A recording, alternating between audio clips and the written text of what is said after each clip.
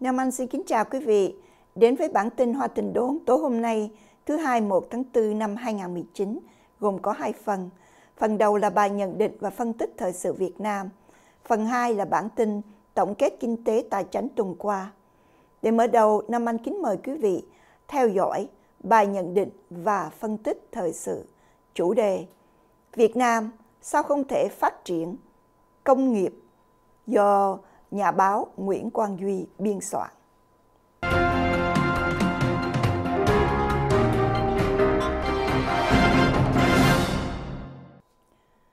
Viễn ảnh Việt Nam trở thành một nền kinh tế dựa vào công nghệ và sáng tạo thường được Thủ tướng Nguyễn Xuân Phúc ca ngợi. Nhưng ước mơ công nghệ hóa đất nước của những người cộng sản ngày càng xa rời thực tế.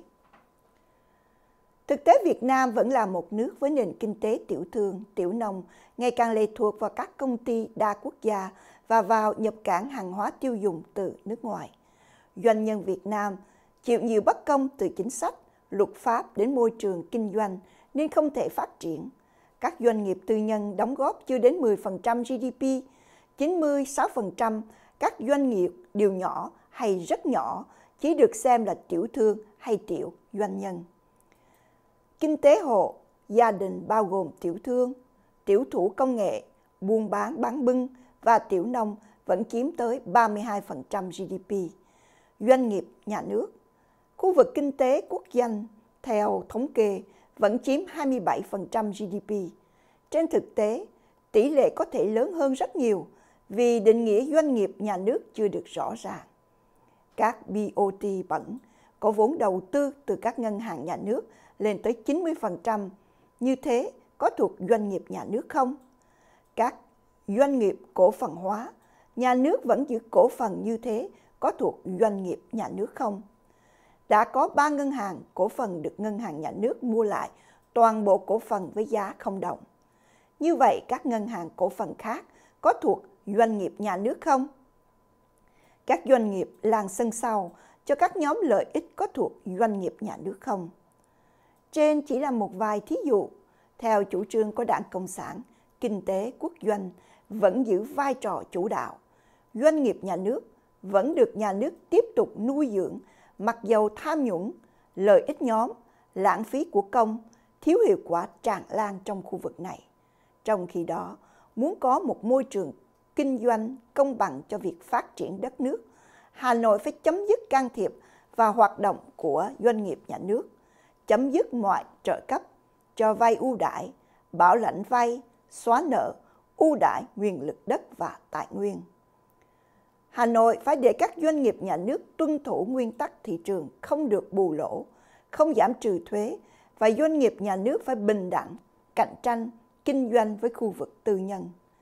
Những hiệp định thương mại quốc tế buộc Hà Nội phải tiếp tục cổ phần hóa các doanh nghiệp nhà nước cũng như mở cửa khu vực dịch vụ công cộng cho các doanh nghiệp nước ngoài vào khai thác. Doanh nghiệp có nguồn vốn đầu tư nước ngoài. Trên 30 năm nay, Hà Nội theo đuổi chiến lược tăng trưởng kinh tế dựa trên đầu tư nước ngoài vào công nghiệp phục vụ xuất cảng. Các doanh nghiệp có vốn đầu tư nước ngoài và các tập đoàn đa quốc gia được ưu đãi mọi mặt từ thủ tục hành chính thuê mướn đất đai, thuê mướn nhân công, miễn giảm thuế má, trợ giúp xuất cảng, trợ giúp vay thêm vốn, cạnh tranh thu hút đầu tư giữa các địa phương cho đến các chính sách vĩ mô về hối đoái, tiền tệ hay ký kết các hiệp định thương mại quốc tế để mở rộng xuất cảng. Khu vực có vốn đầu tư nước ngoài đã chiếm trên 20% GDP, trong khi khu vực doanh nghiệp tư nhân chưa được 10%, và khoảng cách chênh lệch ngày một gia tăng. Trong khi thuế thu nhập doanh nghiệp các doanh nghiệp có nguồn vốn đầu tư nước ngoài bình quân chỉ có 10%, thì doanh nghiệp tư nhân Việt Nam trung bình đóng 20%. Các công ty đa quốc gia như Samsung năm 2018 lợi nhuận lên tới 5 tỷ Mỹ Kim, trong khi thuế đóng góp cho ngân sách chỉ chừng 300 triệu Mỹ Kim. Chiến lược ưu đãi doanh nghiệp có nguồn vốn đầu tư nước ngoài chỉ thu hút được các doanh nghiệp khai thác lợi nhuận trước mắt. Samsung đã từng rút khỏi Nam Hàn rời sang Trung Quốc rồi vào Việt Nam khi tình hình chính trị Bắc Hàn cho phép Samsung trở lại tiếp tục dời đi. Trong khi các doanh nghiệp có nguồn vốn đầu tư nước ngoài được luật pháp quốc tế bảo vệ, còn doanh nghiệp nhà nước phải dựa vào luật pháp Việt Nam, mà luật pháp Việt Nam thì thật khác với thế giới. Các doanh nghiệp tư nhân Việt Nam vì thế khó có thể cạnh tranh một cách hiệu quả ngay tại Việt Nam thì nói gì đến việc vươn ra biển cạnh tranh ở xứ người. Nhiều quốc gia bao gồm Mỹ, Úc, Canada, Âu Châu cấp các visa đầu tư cho những doanh ngân với số vốn nhỏ chỉ chừng một triệu Mỹ Kim nhằm thu hút các doanh ngân đến định cư tại các quốc gia này. Các quốc gia này vừa mang tiền đến đầu tư, vừa mang kinh nghiệm làm ăn buôn bán, vừa thực hiện ước muốn được định cư trên một xứ sở, họ được đối xử công bằng. Sau làn sóng tị nạn chính trị là làn sóng người Việt liên tục bỏ nước ra đi. Tại Việt Nam họ bị đối xử bất công về mọi mặt. Họ phải tìm đến một chân trời mới, nơi đất lành, chìm đậu. Doanh nghiệp tư nhân Việt Nam hiện có trên 600.000 doanh nghiệp với 500.000 doanh nghiệp tư nhân, nhưng có tới hơn 96% là doanh nghiệp nhỏ và rất nhỏ, 2% doanh nghiệp quy mô vừa và 2% doanh nghiệp lớn. Mặc dù không tới 10% GDP, doanh nghiệp tư nhân lại tạo công an việc làm cho hàng chục triệu người lao động, mỗi năm tạo thêm vài trăm ngàn công việc làm mới.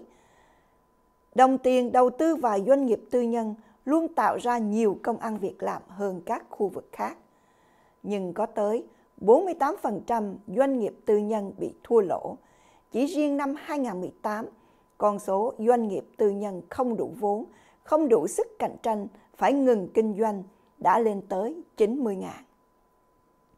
Nghịch lý là tỷ lệ đóng góp vào thuế của các doanh nghiệp tư nhân chiếm đến hơn 41%, vẫn cao hơn tỷ lệ đóng góp của các khu vực khác. Chưa kể, các doanh nghiệp tư nhân còn phải đóng phí cho cửa quyền, cho tham nhũng để được yên ổn làm ăn.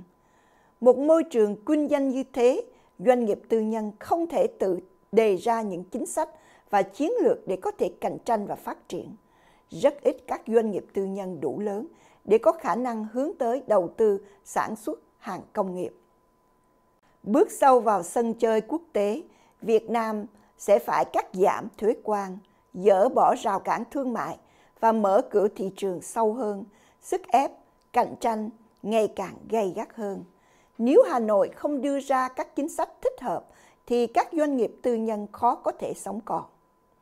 Bởi thế, thay vì đầu tư trong nước, nhiều doanh nghiệp đã bán lại doanh nghiệp trong nước, dùng tiền vốn đầu tư và định cư nước ngoài như đã nói phần trên. Hộ gia đình cũng cần nói qua về kinh tế hộ gia đình, một hình thức kinh doanh còn chiếm trên 32% GDP, gồm những tiểu thương, tiểu thủ công nghệ, buôn gánh bán bưng đến các tiểu nông. Nhiều hộ kinh doanh tránh thành lập doanh nghiệp tư nhân vì quá nhiều rào cản lại không mang gì lợi ích trong việc phát triển kinh doanh.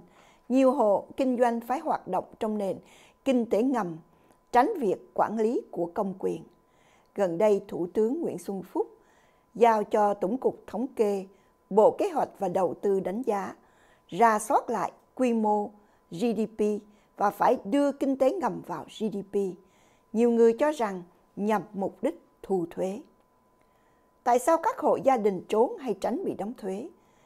Và nếu biết rõ nền kinh tế ngầm, liệu Hà Nội có thể thu thêm được thuế không? Là những câu hỏi khá thích thú. Thay đổi thể chế, phát triển quốc gia lẽ ra phải dựa vào nội lực đất nước, phải dựa vào doanh nghiệp tư nhân, thì Hà Nội lại chạy theo chiến lược dựa vào tư bản nước ngoài. Chiến lược sai lầm, kết quả là doanh nhân tư nhân ngừng phát triển đất nước và xã hội bị kéo theo trở thành chậm phát triển. Bởi thế Việt Nam vẫn là một nền kinh tế dựa trên tiểu thương và tiểu nông.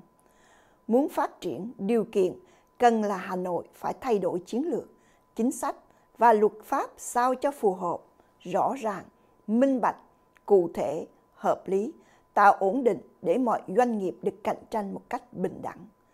Điều kiện đủ là Việt Nam phải có tự do kinh doanh, quyền tư hữu tài sản và đất đai phải được chính phủ bảo đảm và tầng lớp doanh nhân phải có quyền tự do chọn người đại diện trong quốc hội và chính phủ để bảo vệ quyền lợi cho chính họ.